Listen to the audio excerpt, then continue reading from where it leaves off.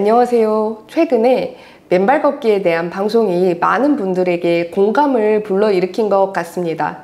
그래서 진료실에서 진료를 하다 보면 마지막에 꼭 맨발 걷기가 좋다고 하는데 저도 해도 되나요? 저에게도 해당 사항이 있나요? 라고 문의하시는 분들이 정말 많이 늘어나셨습니다. 우리가 어떤 질병으로 인해서 내 발바닥에 신경이나 혈관에 문제가 생긴 것 같다는 느낌이 들었을 때 막연하게 머릿속으로 상상하기를 아, 뭔가 내 발바닥의 신경에 좋은 자극을 주어서 얘를 회복시켜주고 싶다. 혹은 혈액순환이 잘 되게 뭔가 적당한 자극을 주어서 발을 회복하고 싶다라고 하는 마음이 누구나 들기 마련인 것 같습니다. 이런 느낌 때문에 맨발 걷기라고 하는 운동이 많은 분들에게 매력적으로 다가오는 것 같은데요. 사실 오늘 영상의 결론부터 말씀드리자면은 발 통증이 이미 있거나 아니면은 어떤 질병이 있는 분들의 경우에는 대부분은 맨발 걷기를 하는 것이 도움이 되지 않습니다. 따라서 오늘은 맨발 걷기가 도움이 되는 분들의 경우 그리고 도움이 전혀 되지 않는 오히려 방해가 되는 분들의 경우를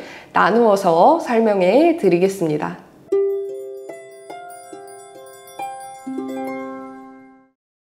첫 번째, 족저근막염이 자주 발생하는 분들의 경우입니다. 이 경우는 맨발 걷기를 하지 않는 것이 좋습니다. 제가 진료실에서 만나본 분들의 경우에 아침에만 발바닥 통증이 있고 오후로 시간이 지나면 지날수록 발바닥 통증 자체는 괜찮아지기 때문에 장기적으로 발바닥의 근육을 강화하는 것이 도움이 되지 않을까 하는 생각 때문에 저녁 시간대에 맨발 걷기를 꾸준히 하신다고 말씀하셨던 분들의 경우가 있었는데요. 오히려 이 맨발 걷기 운동이 장기적인 관점에서 보았을 때 족저근막염을 더더욱 악화시킬 수가 있습니다.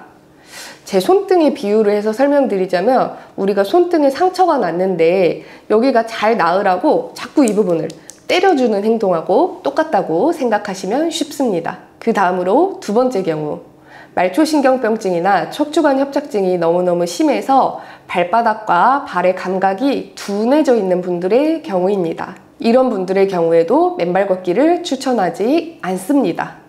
가장 중요한 이유로는 감각이 떨어진 상태에서는 아무리 내가 걷기 운동을 하기 전에 바닥에 위험한 것들이 없는지 살펴보았다고 하더라도 그리고 아무리 부드러운 흙밭을 걷는다고 하시더라도 상처가 나거나 감염의 위험이 있기 때문에 맨발 걷기를 하는 것을 추천드리지 않고 싶습니다. 무감각한 느낌에 대해서 뭔가 적절한 자극을 주어서 이 발바닥 감각을 깨워주고 싶으신 마음은 충분히 이해를 합니다. 이런 경우라면 차라리 조격이나 마사지를 하실 것을 추천해드리고 싶습니다. 그 다음으로 세 번째의 경우 뇌출혈이나 뇌경색, 후유증이 있어서 발에 감각이 떨어지는 분들의 경우인데요. 이 경우에는 맨발 걷기가 도움이 될 수 있습니다. 이 경우는 앞서 말씀드린 두 번째 경우처럼 내가 맨발 걷기를 하려고 하는 그곳에 조금이라도 뾰족하거나 위험한 물건이 놓여 있지는 않는지 위험한 어, 잔여 물질이 있지 않는지 이런 것들이 충분히 검토된 다음이어야 하겠고요. 그 다음으로 두 번째로 위험한 상황에 보호자분께서 충분히 도움을 줄 수 있는 상황이어야 한다는 전제까지 포함되어 있기는 합니다. 실제로 해외에서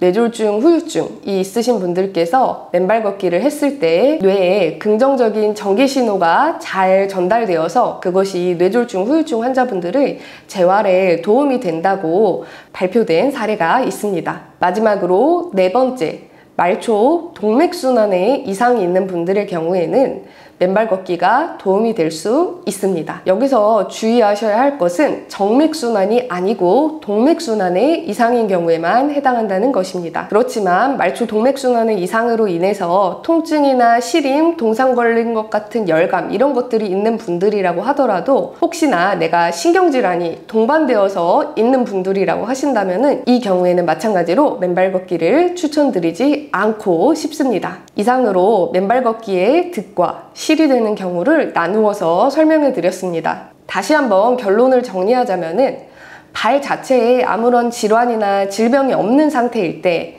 예방적 조치 차원에서 혹은 몸 전신의 건강을 회복하는 차원에서 맨발 걷기를 하는 것이라고 한다면은 그것은 도움이 될 수 있습니다. 하지만 이미 발에 통증이나 저림, 열감이 나타나 있는 상황이고 그리고 그것을 치료해야 되고 그것이 어떤 질병인지 내가 알고 있는 상황이라고 한다면은 대부분 이런 상황에서는 맨발 걷기가 주는 득보다 실이 더 큰 경우가 많은 것으로 확인되었습니다. 긴 영상 시청해 주셔서 감사합니다.